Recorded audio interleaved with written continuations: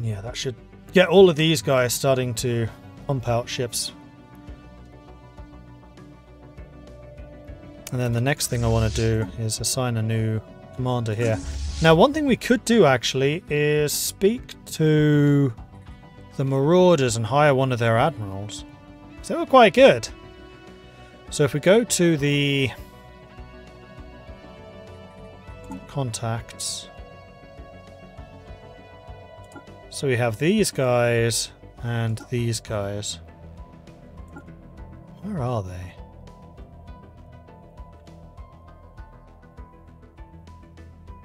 Atrevian Marauders are up here.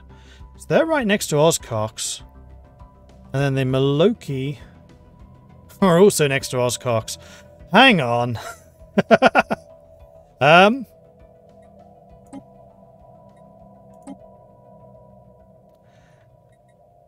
So you can't. That's too bad. What about you guys?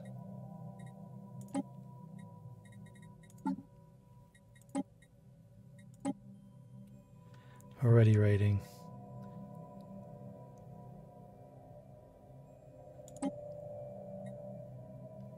I'll oh, hire an admiral, I think. Ooh, this Antirian very cunning. You lucky drifters.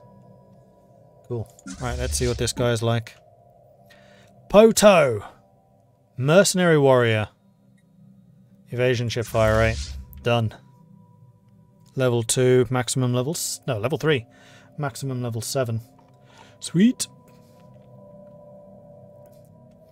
And then the plan basically is to have the Red Tide hold this flank, and then the Hurricanes hold this flank. But it kind of looks like neither of them are actually interested in actually attacking. Oh, no, here they go. Oh, we do have a... Wait. You must have military access through them.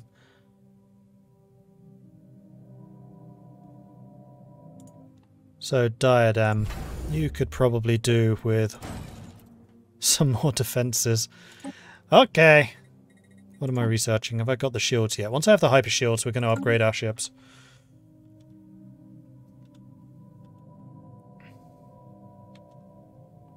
Our star base is under attack.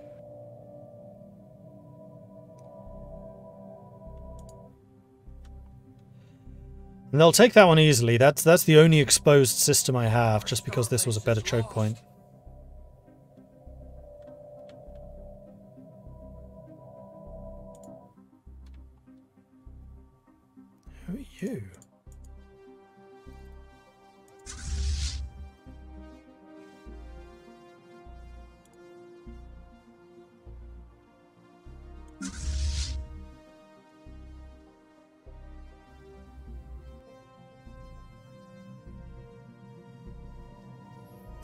Hi, Curator. I will extend our deal. So our relations with you are now pretty good, so let's have a word with them, see if we can hire, uh, buy anything else. So we've got the Curator Enclave.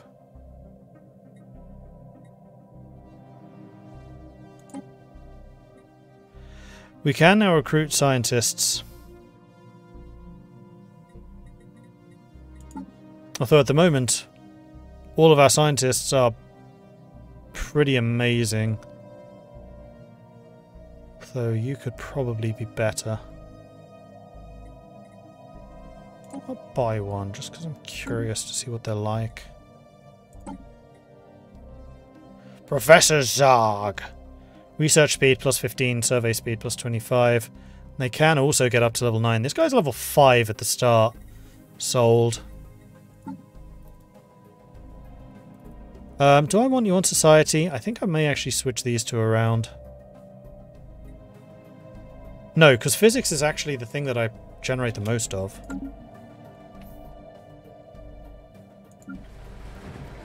Cascadia Prime is ready to upgrade, so is Watership Down. Watership Down I can actually do now, so go ahead. There's the Hyper Shields. Defense Grid Supercomputer. Defense Platform Cap plus 8. And I get a 50% bonus. Done.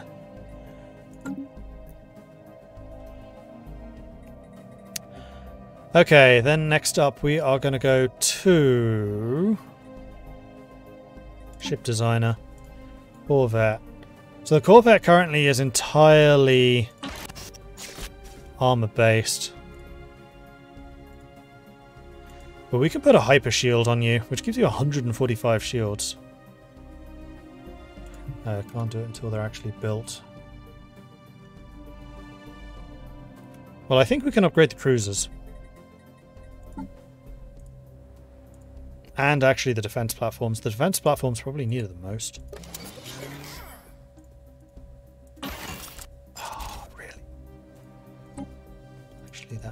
Can probably do this. No, I can't do this. I can probably do this. Oh, yeah! Damn it, but these then cost... I can't afford those. Ah!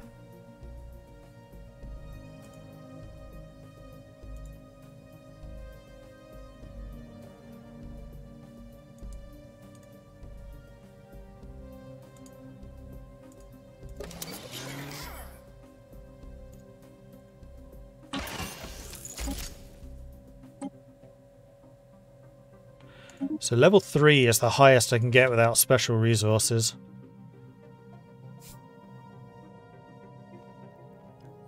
And now we're over this limit. Research complete. But I think maintenance cost is just energy, and energy I have a lot of now. Gene modification done. Penal colony modifier. Crime goes down in other colonies but increases in this one, has massive immigration pull. Chemical bliss living standard, which I also don't want.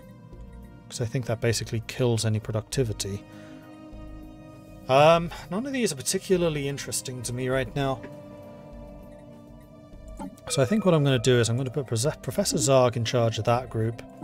And then our other genius in charge of this. So that we can get that done faster. Uh, and I guess food production. Oh, battle. That's here, isn't it? Well, those pirates lasted a long time.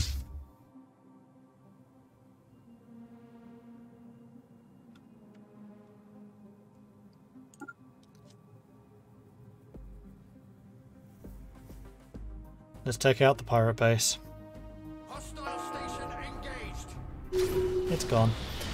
The Red Tide has destroyed a pirate station in the Lyctabon system and recovered its strong room module. Aside from the various stolen resources, the module also contains an ancient datapad with partial schematics of what appears to be a subspace gateway. There are no re- records of where the pirates obtained this mysterious datapad, but it has furthered our understanding of how the Galactic Gateway Network functions. Meanwhile, battle is joined. You've attacked my 6.9k station with 1.5. Um, Good luck.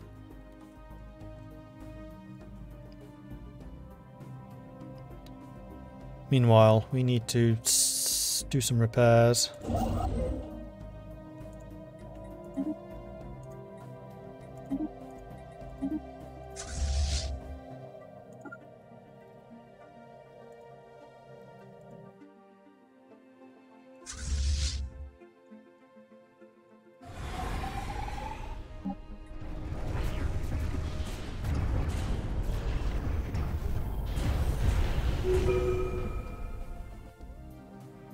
Yeah, my star bases are quite good.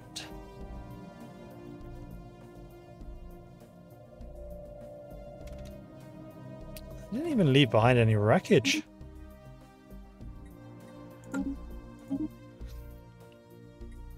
Oh, we did actually lose a defense platform.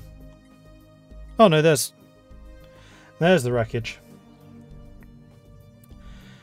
For which we will need to pinch Waterloo's guy.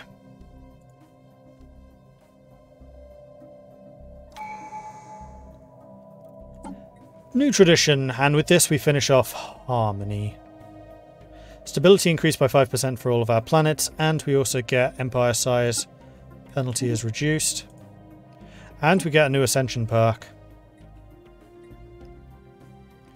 Engineered evolution would be good. Transcendent learning would be good.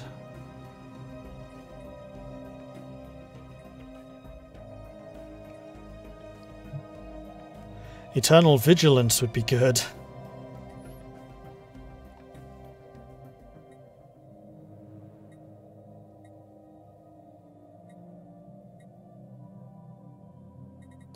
I think engineered evolution. This gives us another three gene modification points. And allows us to get clone vats. Yeah, we're doing this.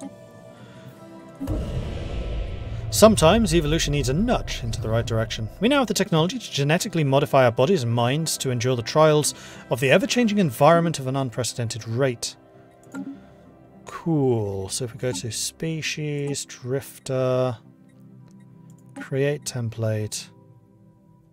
Oh, we still can't do this. Because we still can't replace enduring.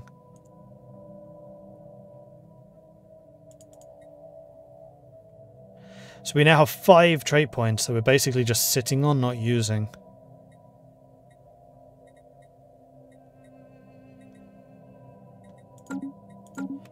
Well, that's a bit annoying.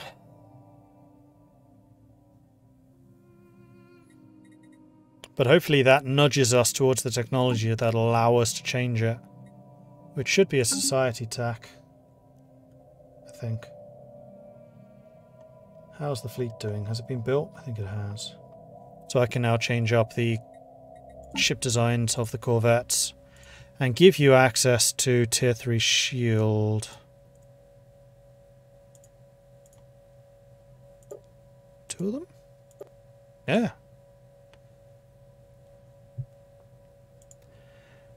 And unfortunately the Ripper autocannon uses explosive motes, so I cannot upgrade those either. Destroyer, you can definitely upgrade to the level 3 shields.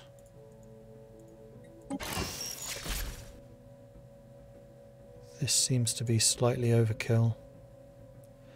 None of that can upgrade. Oh, these might be able to. Ship fire rate tracking.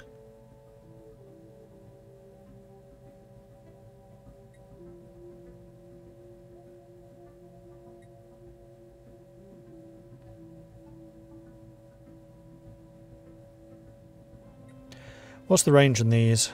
60, 50. So getting into 30 is very close. We would actually want this one. Ship of the line on the wave cutters. In fact, if I reduce you to a level 2, can I do this at level... No.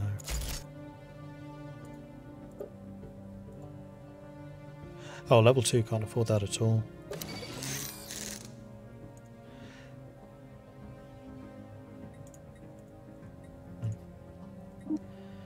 Save. And then the cruiser. Same thing. Advanced computers now.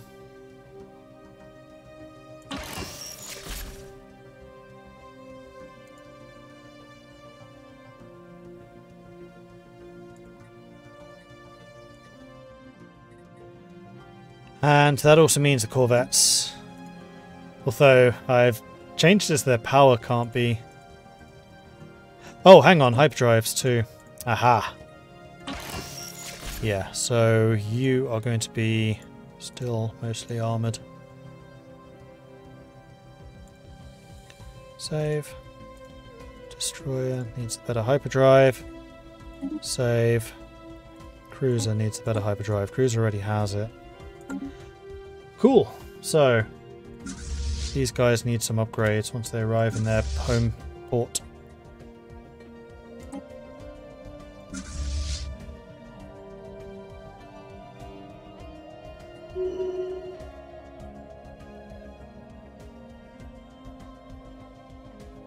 And this time their war exhaustion is increasing dramatically quicker than mine.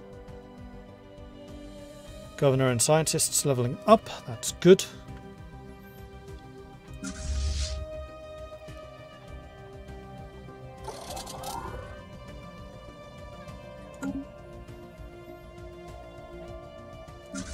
And I'm going to say for you, grab another two corvettes. Just to bring you up to full strength. You call that a fair deal? You spit in the face of Numa. Pah! Oh, but we have customers. I Our sincerest apologies for that display. Some of us do not have the courage to accept good fortune when it falls into their lap. By the guiding hand of Numa, we have come across these ancient artifacts that have been very inspiring. Uh, sure. Haven't really been using them, but you never know when it'll be useful.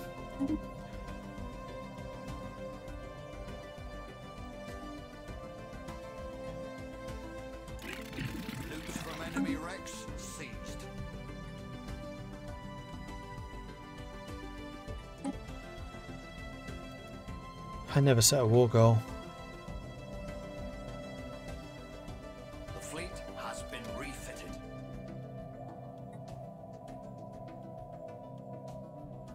The fleet has been refitted. 7.2k. You're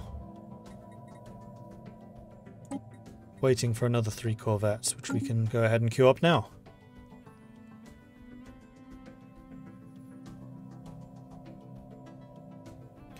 Sweet. And our mineral reserves have been recovering quite nicely. Ah, still need bloody crystals. Still can't buy them. Having all of these upgrades is just pointless.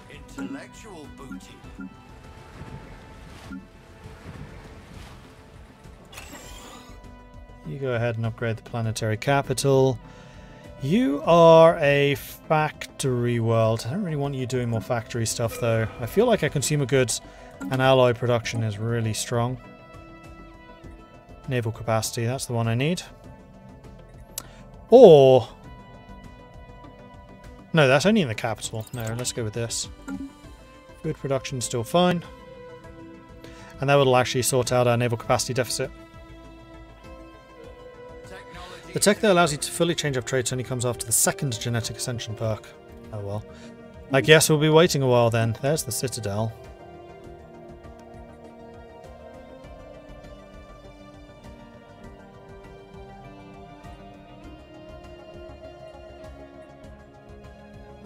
Allah requires explosive motes. Minerals from mining. Antimatter missiles. I think the antimatter missiles be useful because, again, starbases use them. And the starbases, except for the platforms, automatically upgrade with those. Speaking of which, we should probably upgrade the starbases that have platforms.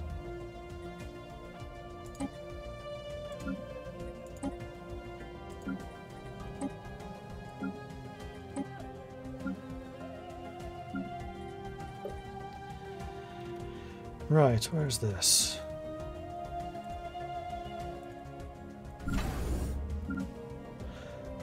Uram station.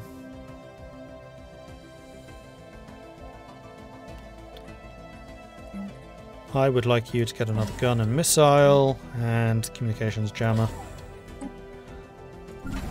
Meanwhile, Waterloo, you can get me some more anchorages. And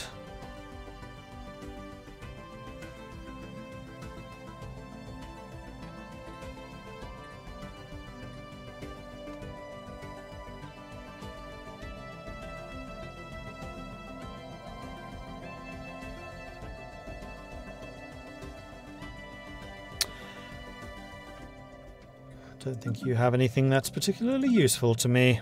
You can also get some more anchorages. Cool. So this should be pretty dramatically increasing my ship capacity. Meanwhile, you have done the research you need to do. You can come back down to Waterloo. Get back to assisting the research. I'm wondering if I send this fleet to go and take Rasnum back.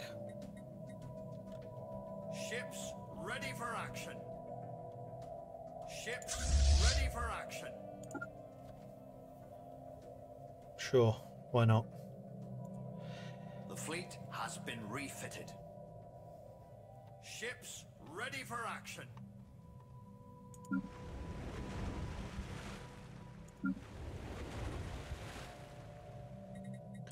Explosive motes required for fortresses as well. Ah!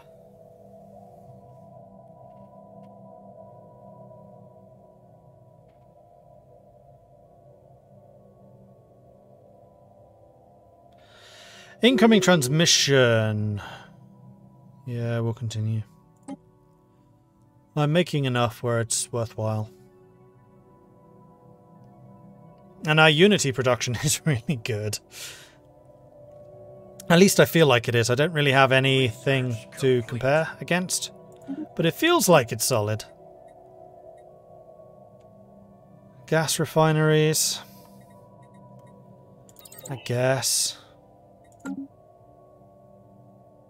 We're starting to get some really serious unemployment now. Um, so... Let's get another research place for you. Helm's Deep. Generators. Cascadia.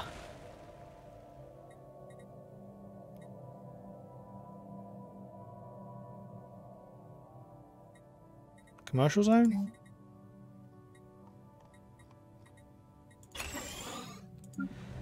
Watership down. Don't have the minerals.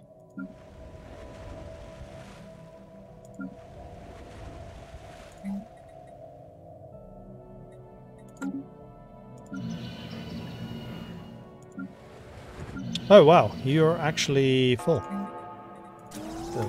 We're being attacked. No, we are attacking. Because apparently they really don't want to attack me for some reason.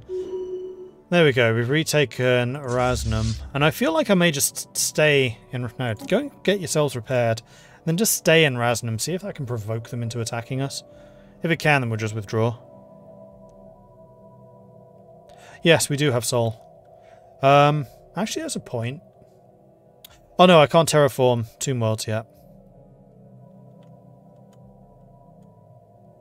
Where's it gone? There it is. Yes, unfortunately Sol 2 looks a bit blown up. Toxic world. Not even Tomb World, but toxic.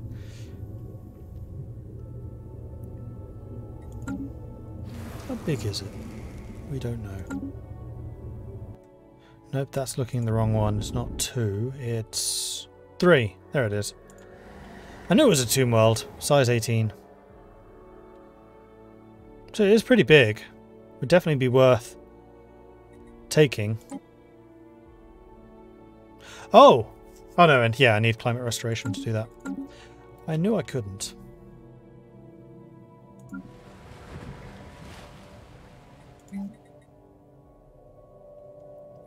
We need just two more months of minerals, then we can build another mining district here. Oh no, sorry, it was here that I needed one. This is the mining world.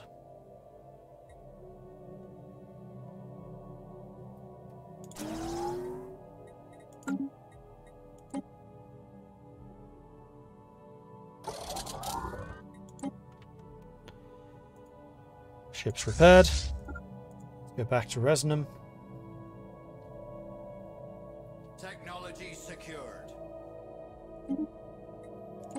Defense Grid Supercomputer. Sapient AI. We grow ever stronger. Technology secured. I don't see how that could be dangerous. Especially as we haven't actually... I don't think we've gotten any other kind of AI, have we? Maybe we have. Nebula refinery, mining station output, minerals from jobs, mining subsidies, min mineral purification, or mining for miners. I mean, that one, it's very, very cheap, only takes us eight months. Technology secured.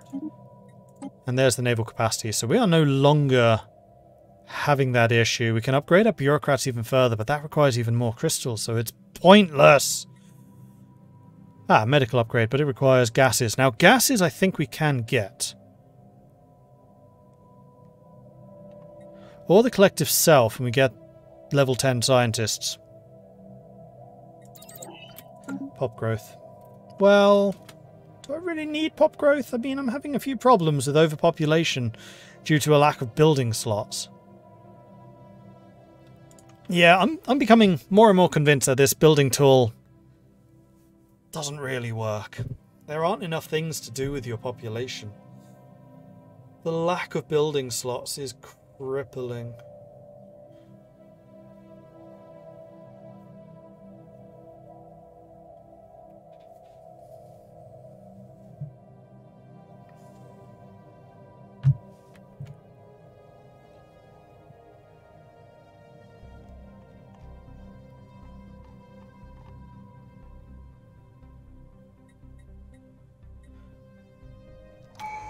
And this war, just like the previous war, is just one giant snooze fest. Okay, so we have a new opportunity here, so we can get adaptability, dominion, expansion, prosperity, subterfuge, or supremacy. Prosperity reduces upkeep, increases resource output. City districts have more clerks.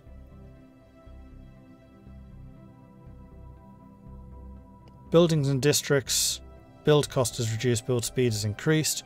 City districts have more houses, and then the capstone is resources from jobs plus 5% and more stability. So our specialists are effectively going to be 10% better with this. Expansion is starbase influence, empire size from systems and colonies. Which is adding up. That would be, what, a reduction of 15? No, 25%. That's 150. So what's 25% of 150? Like 40 or something.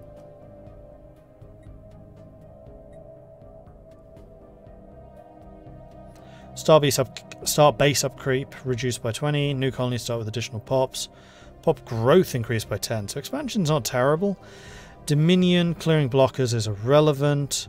Governor level cap would be nice, especially if we were trying to get our people to live longer. Ruler level cap would be nice and the Edicts Fund is never bad. Capital building and housing buildings produce extra housing, which has just not been a problem. Enhanced surveillance from enforcers also producing unity. Then output from workers and slaves. We don't do slaves. Food output increased by 10%. Orbital bombardment and defense army damage increased. That one could be good. Habitability increased by 10. It's already 100 on all of our ocean planets. A free building slot, except we've reached our maximum and we're basically always going to reach that maximum because it's way too freaking low. Supremacy gives us more naval capacity and army damage. Allows all the war doctrines, except it doesn't because we're inward perfectionists. Ship build cost reduced by 10, ship build speed increased by 25, upkeep reduced by 10, capacity increased by 20. I mean, we are still pretty handily below our our um, capacity limit. Orbital bombardment and fire rate, and then damage versus star bases. And subterfuge are inward perfectionists, so we suck at espionage anyway. I think if you want to build tall, you need habitats. I shouldn't need to, though, because that's just moving population off of the planet.